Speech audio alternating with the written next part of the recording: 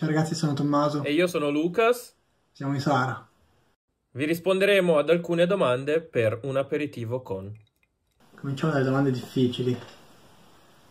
Sicuramente il lockdown ha dato una mano alla nostra condizione di compositori, aiutandoci, obbligandoci a massimizzare gli sforzi eh, in questo nostro progetto.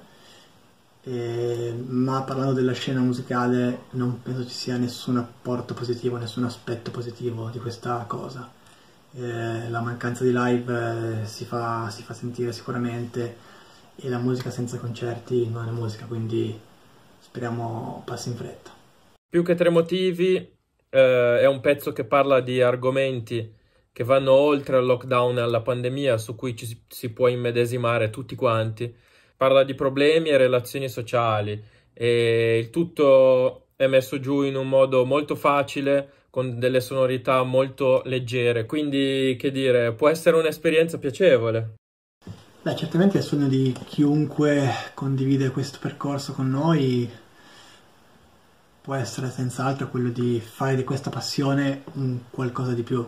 Per il momento non ci stiamo pensando, ma non ci precludiamo nessuna strada, dipende da come andranno le cose.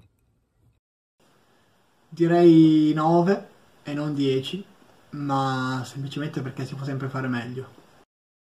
Io nella vita lavoro in un ufficio commerciale. Lavoro come ingegnere elettronico in un ufficio tecnico.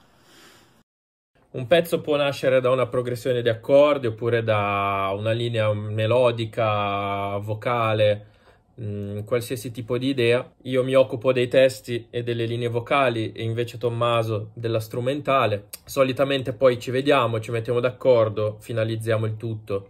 Uh, dato il periodo che stiamo passando, ci sentiamo molto spesso su Skype.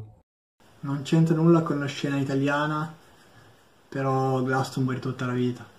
Il concerto dei miei sogni sarebbe il Rock in Rio sicuramente, ma se voglio stare con un po' i piedi per terra dirò San Siro. sì, sono impegnato. No.